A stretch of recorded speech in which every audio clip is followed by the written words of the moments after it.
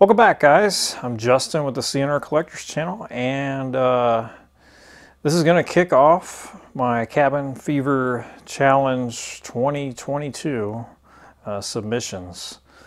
This video is going to be for my uh, Division 1 entry, uh, but first I'm going to cover uh, what the Cabin Fever Challenge is all about and um, summarize the course of fire and all that type of stuff. There are six different divisions in the challenge. Uh, the first is uh, vintage. That is pretty much your like pre-1950s um, uh, weapons. They're all unmodified and uh, you can't have anything that uh, they normally wouldn't have been issued with. Um, most of the time you're going to see uh, SKSs, Garands, stuff like that. Um, your next division is Division 2. That is Modern Unlimited. Uh, modern Unlimited, uh, you're going to see a lot of ARs and uh, variants. Um,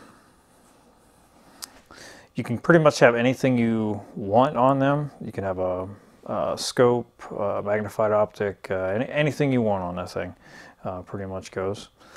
Then you've got Division 3, which is uh, manual repeating. Um, generally, you're going to see bolt actions, but lever action and pump action are uh, also okay. Then you've got uh, Division 4, which is a single shot. These are your uh, break actions and your falling blocks. Then Division 5, muzzle loaders. And uh, Division 6, which is new to the 2022 challenge, is uh, rimfire. So what is this course of fire I'm talking about? Well, on most of the divisions, uh, let's see, division one, two, three, and four, it is all going to be at 100 yards or 100 meters, depending on uh, your preference. And you're going to be shooting an 8-inch target. You can get these. These are the official uh, Cabin Fever Challenge targets. You can get them on the uh, Facebook or the, uh, the website. I'll throw the website down below. Uh, they're 8 inches. And you can shoot that at 100 yards. And uh, the course of fire for uh, Division 1 through, let's see, 1 through 4 is going to be uh, 5 shots standing, 5 shots kneeling, 5 shots prone, and 5 shots sitting.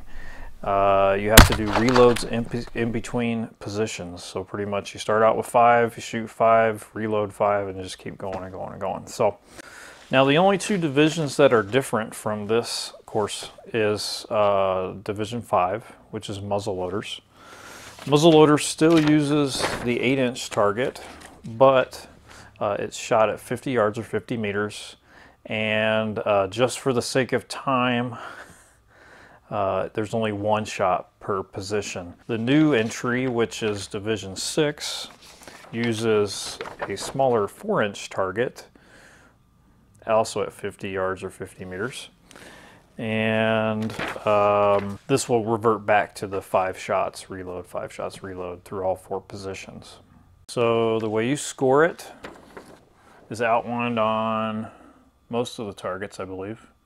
So you're going to see hits on target times 5 divided by time in seconds.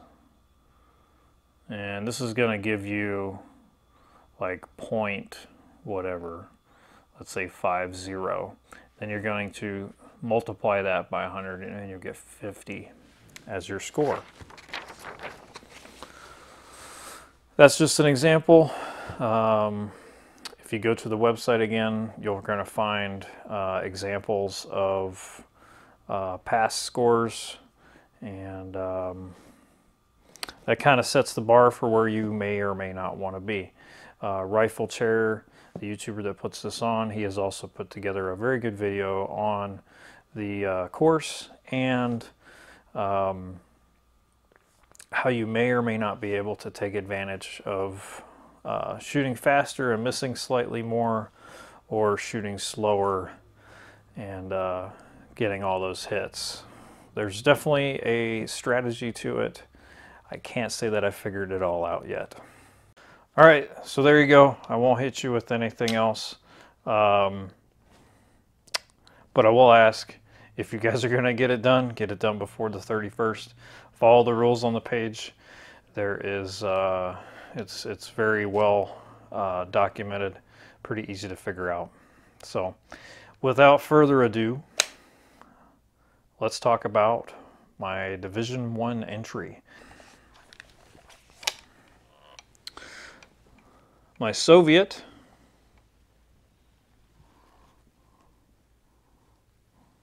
SKS.